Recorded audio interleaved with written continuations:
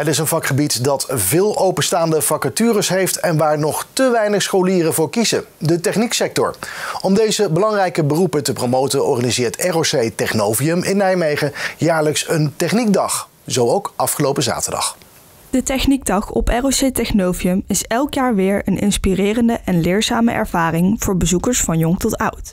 Ze proberen jongeren te informeren, vermaken en inspireren met de leuke snufjes en technische activiteiten op deze open dag. Nou, Techniekdag heeft eigenlijk als doel om jongeren enthousiast te maken voor techniek en dan specifiek jongeren tussen de 8 en 14 jaar. Daar zijn allerlei bedrijven en onderwijsinstellingen die doelactiviteiten organiseren, zodat ze eigenlijk spelenderwijs ontdekken hoe gaaf techniek kan zijn. Ja, het is uh, te veel om op te noemen eigenlijk. Hè. Je solderen, tot hier programmeren, uh, tot uh, timmeren, lassen, knutselen. Ehm, ja, een escape game zie ik hier bijvoorbeeld. Dus echt heel veel verschillende activiteiten. En vergeet natuurlijk niet een Nijmeegse kampioenschap vliegtuig gooien. Uh, wij dachten we doen iets unieks. We gaan uh, voor de tweede keer eigenlijk uh, het Nijmeegse kampioenschap houden.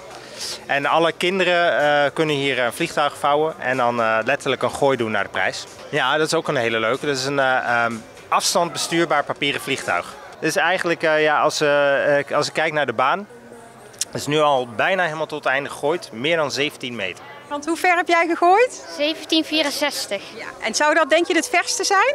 Nee, dat weet ik niet. Ik hoop het wel. Ondanks dat de Techniekdag vele bezoekers trekt en veel kinderen, maar ook ouders zich vermaken met de leukste technische bezigheden, zijn er ook vooroordelen over een technisch beroep. Met de Techniekdag proberen ze deze vooroordelen te doorbreken en te laten zien hoe veelzijdig en creatief het werken in de techniek kan zijn.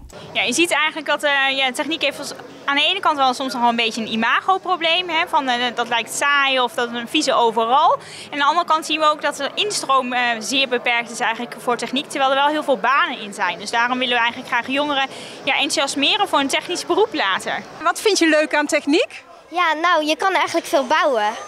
En dat vind ik eigenlijk wel heel leuk. Nou, het is vooral geslaagd als wij zoveel mogelijk jongeren uh, enthousiast hebben gemaakt en dat we vrolijke gezichtjes naar buiten zien lopen. Dat is het allerbelangrijkste voor ons.